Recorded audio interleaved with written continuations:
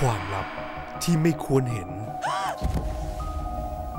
ดูเหมือนเธอจะกลัวความผิดอะไรสักอย่าง จึงตัดสินใจฆ่าตัวตาย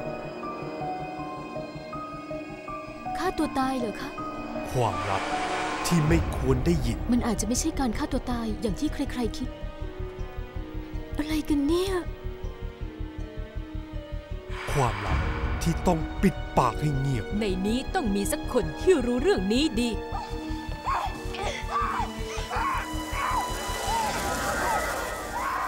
และมันคือความลับที่ต้องรักษาเท่าชีวิต จับเธอออกไปเลย เชื่อหม่อมฉันนะเพคะ ในวังนี้มันมีเงาดำอะไรก็ไม่รู้ มันจะฆ่าทุกคนที่รู้เรื่อง